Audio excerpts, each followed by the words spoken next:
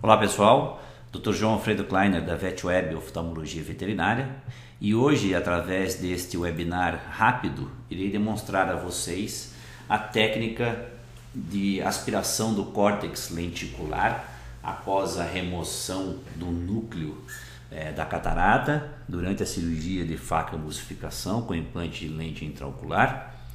É a técnica denominada de descolar o adesivo e eu vou mostrar para vocês algumas dicas de como fazer esta aspiração de forma mais eficiente e segura.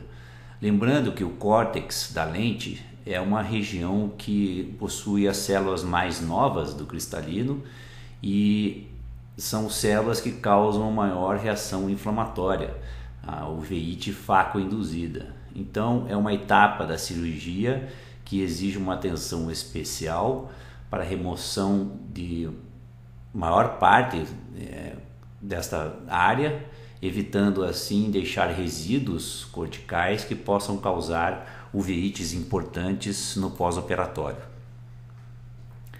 Algumas dicas do procedimento. Nesta etapa não temos mais a sustentação da cápsula posterior pelo núcleo, então devemos ter uma maior infusão de BSS na câmara anterior, dentro do saco capsular, para que a cápsula posterior fique deslocada posteriormente, evitando assim o seu aprisionamento pela ponteira de irrigação e aspiração. Então, deixar a garrafa de BSS mais alta. A aspiração e vácuo no aparelho devem ser setadas de forma linear, ou seja, conforme pressionamos mais o pedal aumenta-se gradativamente a aspiração e o vácuo, então temos um controle mais adequado desses dois parâmetros. O chopper utilizado na segunda mão, através da incisão auxiliar, ele ajuda na aspiração dos fragmentos mais consistentes do córtex, desobstruindo assim a ponteira, o orifício da ponteira de irrigação e aspiração. A técnica então que eu vou demonstrar é denominada de descolar adesivo, onde pegamos a região é, periférica do córtex e puxamos em direção ao centro da cápsula rexis. Nessa região central da cápsula rexis é denominada de, de região de segurança, é onde devemos trabalhar durante a maior parte do tempo, não só na facomosificação do núcleo, como também nesta é, etapa de aspiração do córtex. Então, sempre devemos é, manter a ponteira no centro da cápsula rexis. Então, essas são as, as dicas principais para fazermos essa etapa da cirurgia com segurança. Então, vejam que eu estou utilizando uma ponteira curva e vejam que eu pego na região periférica do córtex, aumento a taxa de aspiração e puxo em direção ao centro. Vejam a segunda mão, o chopper, ajudando na desobstrução da ponteira.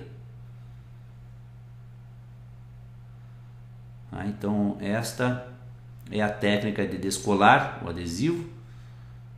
Então, puxamos a pontinha do córtex e tracionamos em direção ao centro da minha cápsula rexis.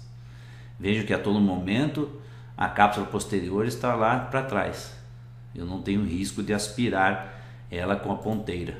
A outra coisa muito importante é que o orifício de aspiração ele está direcionado para a região equatorial da lente. Então a minha aspiração vem nesse sentido. Eu não coloco a minha o orifício da minha ponteira de aspiração direcionado para a cápsula posterior, porque eu tenho mais chance de aspirar a cápsula posterior e causar uma ruptura de cápsula posterior.